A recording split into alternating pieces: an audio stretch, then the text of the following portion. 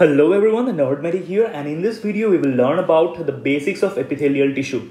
So whenever we classify tissues, we get to see a broad classification of four types of tissue. The first is epithelial tissue, the second is connective tissue, third is muscular tissue and fourth is nervous tissue.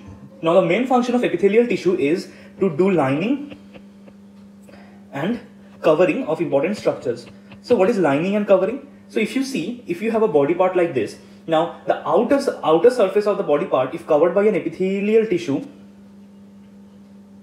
then that, is, that will be known as covering, to cover the outer side. But if the interior hollow area of that same body part is covered by epithelial tissue, then the, the internal presence of epithelial tissue will be known as lining, right? So line means to cover it from inter interior and to cover means to get it wrapped from outside. So this is the main function of epithelial tissue. Epithelial tissue has different shapes. Now, for example, if you can see over here, one, one cell that we have is flat, then another one is cuboidal in shape, and the third one is columnar. So this serves as an important method of classification of epithelial tissue. Or else we can say that the nucleus is, in case of flat, the nucleus is also flattened. In cuboidal cell, the nucleus is spherical. And in case of columnar cell, the nucleus is elongated. In most of the situations, it's difficult to visualize the epithelial cells in microscopy, particularly the light microscopy. But if you can get to see the nucleus, because nucleus is very darkly stained, you will get to see the nucleus. And from the shape of the nucleus and number of the nucleus, you can get to know about the cell count, the the number of cells present over there, the type of cell, whether it is a columnar cell, cuboidal cell, or flat cell, or you can even get to know about the layers. Now, epithelial cells can be a unilayered or multilayered. So there can be a unilayer or they can be multi-layer. So the nuclei serve as an important role as an indicator. Right. Now if you see that epithelial tissue, epithelial tissue is present over a connective tissue. And this connective tissue below the epithelial tissue has a very important role.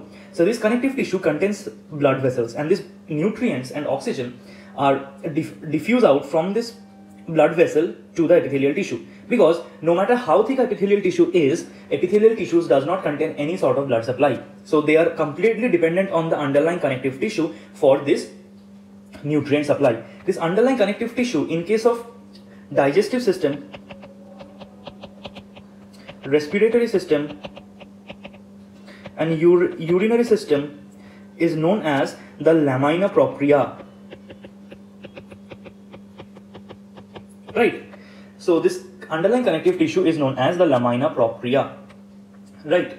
Now the junction between lamina propria and the epithelial tissues there we can see there's a condensation of the lamina propria in a manner that it forms a semi-permeable membrane. Semi-permeable membrane like structure. Not exactly a membrane membrane like structure. This semi-permeable membrane like structure is known as the basement membrane This basement membrane is an important feature of the epithelial tissues and in subsequent videos we will discuss in details about the basement membrane. Now basement membrane provides a platform for arrangement of the epithelial tissues as well as marks the differentiation between epithelial tissues and the connective tissue underlying it. Right. Now based on this presence of the basement membrane, we can define the polarity of the cells of epithelial tissue. Now what is the polarity? Now the side of the cells which face the basement membrane is known as the basal surface about the basal pole the side which faces the opposite to basal pole is known as the apical pole. So these poles are known as apical pole. Right. And the other surfaces like these surfaces are known as the lateral pole or lateral sides. Right. Now if you see based on the type of function of the cells, the transporter or membrane proteins in the basal in the apical pole as well as in the basal pole, they vary the type and number of different proteins. Now, sometimes the apical pole can have certain modifications. For example, certain apical poles, there can be infoldings of the cell membrane which can give rise to something known as the brush border epithelium. Right, or there can be certain projections, mechanical structures which are known as the cilia. Right, so based on the different functions, different structures present at the apical pole, different arrangement in the basal pole and in the lateral sides the cells have something known as intercellular junctions.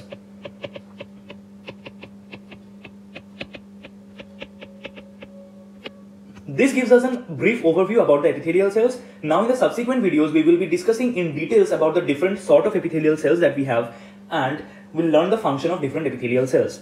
I hope you have enjoyed this video. If you have enjoyed this video, please hit the like button, share this video among your peers and friends of medical school and college. And by any chance, if you are new to the channel, please do hit the subscribe button, press the bell icon and put the notification to all so that you never ever miss a video from my channel.